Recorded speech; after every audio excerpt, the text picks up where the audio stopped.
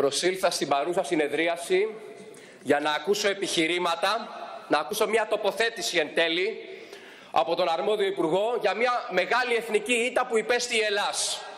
Και ανταυτού άκουσα προπαγάνδα χαμηλού επίπεδου, επικοινωνιακά τεχνάσματα χαμηλού επίπεδου και δεν δόθηκε καμία απάντηση σε ουσιώδη ερωτήματα τα οποία θέτει ολόκληρος ο ελληνικός λαός και τα οποία εγώ οφείλω να επαναλάβω σήμερα. Το επιχείρημα ότι το 2004 ήταν χειρότερα τα πράγματα, αυτό δεν λέει απολύτως τίποτα. Ότι επί Νέας Δημοκρατίας ο Καραμαλής ήταν κουμπάρος του Ερντογάν ή ότι επί Πασόκ ο Γιωργάκης Παπανδρέου χόρευε ζεϊμπεκές με τους Τούρκους. Αυτό δεν λέει απολύτως τίποτα. Και μπορεί να έγιναν τότε τέσσερις ομιλίες και να υπήρχε και τότε βεβαίως η ίδια εθνική μειοδοσία στο ζήτημα της Θράκης. Αλλά και τώρα έγινε ομιλία.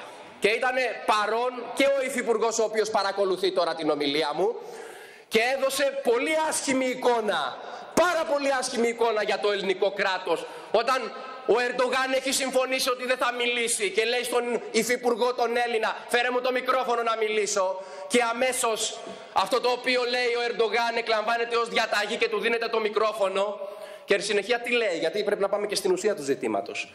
Άκουσε ο αρμόδιος υπουργός και ο υφυπουργός τι είπε ο Ερντογάν στην ομιλία του; Άκουσε ότι μίλησε για τέσσερις βουλευτές του Είπε επιλέξει, καταρχήν μεταδίδει το πρακτορείο Ανατολού αρχικά. We have four deputies in the Greek Parliament. Αυτό όμως είναι στα αγγλικά. Έτσι μεταδόθηκε. Έχουμε τέσσερις βουλευτές στο Ελληνικό Κοινοβούλιο. Πάμε λοιπόν και ακούμε τι είπε ο Ερντογάν στην Τουρκική. Άκουσε ο υπουργός. Ακούσατε τι είπε ο Ερντογάν στην Τουρκική; Εις ό,τι αφορά βουλευτές του Ελληνικού Κοινοβουλίου. Ντόρτ Μιλέτ Μπεκίμιλιζε. Τέσσερις βουλευτές μας. Ντόρτ Μιλέτ Βεκίλι Μιζέ. Δυστυχώς, δυστυχώς, ναι, δυστυχώς έμαθα και τουρκικά, ναι, αν ξέρετε, Στη θεωρία του πολέμου πρέπει να ξέρεις τον αντίπαλό σου για να μπορέσει μια μέρα να τον καταστρέψεις. Και γινόμαστε και τουρκομαθείς και αναγκαζόμαστε και προφέρουμε αυτή τη βαρβαρική διάλεκτο εδώ μέσα για να αποδείξουμε ότι η χώρα αυτή τη στιγμή προδίδεται. Γιατί βάλατε. Σας παρακαλώ, συγγνώμη, λέξη βαρβαρική διάλεκτο. Συγγνώμη, εδώ επιχειρηματολογώ. Η λέξη βαρβαρική διάλεκτος Ήρθε ο Τούρκος και είπε μέσα στη Θράκη ότι έχουν τέσσερις βουλευτές στην Ελλάδα και δεν υπήρξε απάντηση από το ελληνικό κράτος. Αντιθέτως, βάλατε τους εν λόγω παράγοντες να πούνε ψέματα. Λοιπόν, Ντόρτ Μιλέτ Βεκίλη Μιζέ. Αυτό είπε ο Ερντογάν. Τέσσερις βουλευτές μας. Αναγνωρίζει λοιπόν ο Τούρκος ηγέτης ότι εδώ μέσα υπάρχουν τέσσερις δικοί του. Ο Τούρκος ηγέτης ο οποίος αμφισβητεί την εθνική κυριαρχία της Ελλάδος αναγνωρίζει ότι υπάρχουν τέσσερις δικοί του άνθρωποι, δικοί του πράκτορες μέσα στην Ελληνική Βουλή. Εδώ λοιπόν πρέπει να εφαρμοστεί το άρθρο 138 του ποινικού κώδικα, επιβουλή ακαιρεότητας, δεύτερο κεφάλαιο, προδοσία της χώρας, όποιος επιχειρεί να αποσπάσει από το ελληνικό κράτος έδαφος που ανήκει σε αυτό ή να συγχωνεύσει έδαφος του ελληνικού κράτους σε άλλη πολιτεία, τιμωρείται με θάνατο. Και στο άρθρο 135, όποιος συνομωτεί, γιατί εδώ έχουμε συνωμοσία, την οποία ομολόγησε ο Ερντογάν, με άλλον με σκοπό να εκτελέσουν πράξη που προανέφερα, ή με ξένη κυβέρνηση προπαρασκευάζει την, την εκτέλεση αυτής της πράξης, τιμωρείται με 20 ετή κάθριξη. Αυτοί οι άνθρωποι έχουν δώσει δείγματα γραφής εδώ μέσα. Έχω επανειλημμένω καταθέσει τα πρακτικά. Φωτογραφίες αυτών των βουλευτών με σημαίες της Τουρκίας, με σημαίες της δίθεν ανεξάρτητης Θράκης, με προσωπογραφίες του σφαγέα του ελληνισμού, τον με εξισλαμιστέντος Εβραίου και μάλατα Τούρκ, τα έχουμε καταθέσει επανειλημμένως και κανείς από το πολιτικό σύστημα δεν τολμά να πάρει θέση. Εάν υπήρχε μια εθνική κυβέρνηση στην Ελλάδα, βεβαίως, όλοι αυτοί θα είχαν φυλακιστεί με βάση τα άρθρα του ποινικού κώδικα που προανέφερα.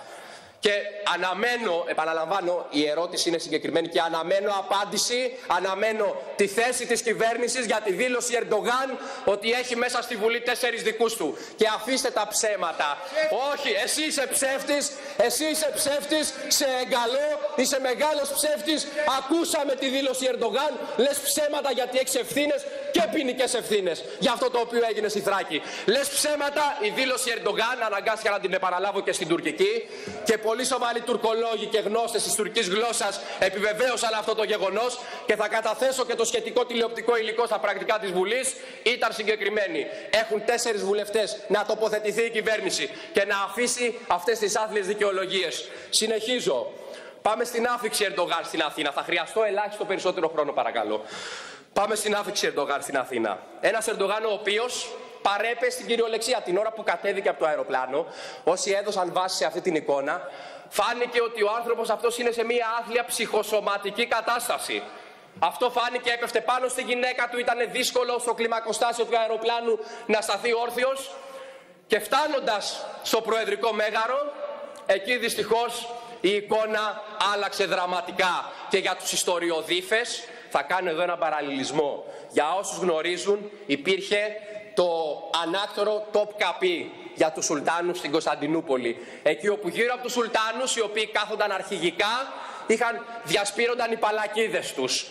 Είδαμε λοιπόν έναν Ερντογάν αρχηγικά σε παραβίαση κάθε πρωτοκόλου να κάθεται στο κέντρο και δίπλα του σε έναν άθλιο ρόλο σαν κακομύρης, στην κυριολεξία σαν κακομύρης, σαν παραδουλεύτρα, ο Προκόπης Παυλόπουλος να δίνει τη χειρότερη εικόνα για την Ελλάδα. Δυστυχώς η γλώσσα του σώματος πάρα πολλές φορές η γλώσσα ντροπή σε εσάς, ντροπή σε εσάς που φτάσατε στο σημείο να έρθει εδώ μέσα ο Τούρκος να αμφισβητεί τη Λοζάνη και να μην υπάρχει ένας Έλληνας, να μην υπάρχει ένας Έλληνας να του πει ότι η Λοζάνη προβλέπει αμοιβαιότητα, ότι όσοι μουσουλμάνοι είναι στη Θράκη, τόσοι Έλληνες πρέπει να είναι και στην Κωνσταντινούπολη.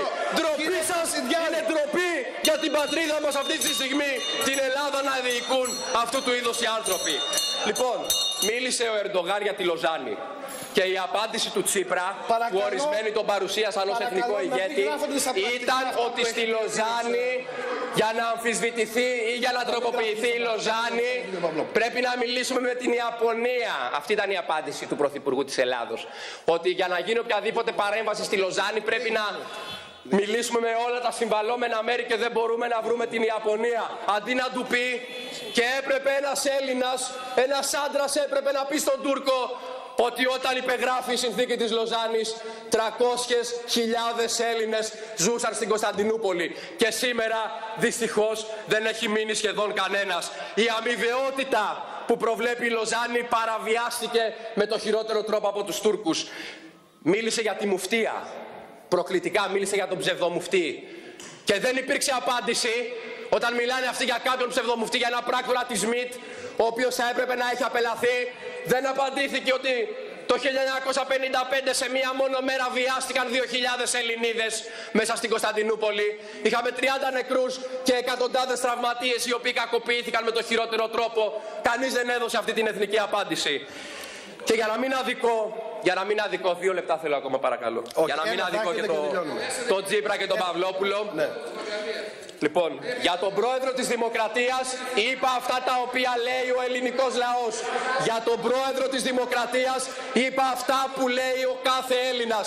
Και το δυστύχημα είναι ότι ο συγκεκριμένος παράγοντας, ο οποίος είχε υποχρέωση, ο οποίος είχε υποχρέωση να εκπροσωπήσει την Ελλάδα, είχε υποχρέωση να θυμηθεί τους χιλιάδες Έλληνες οι οποίοι εκτελέστηκαν, οι οποίοι δολοφονήθηκαν, οι οποίοι εξανδραποδίστηκαν με το χειρότερο τρόπο, έδωσε αυτή την άθλια εικόνα.